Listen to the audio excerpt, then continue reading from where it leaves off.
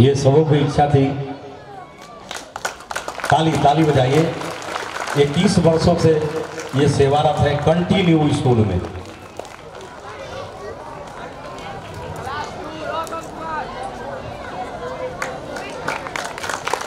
और धन्यवाद स्वयं को और आपके अगले कार्यक्रम फोक डांस जो लास्ट होगा, इसके बीच में exactly.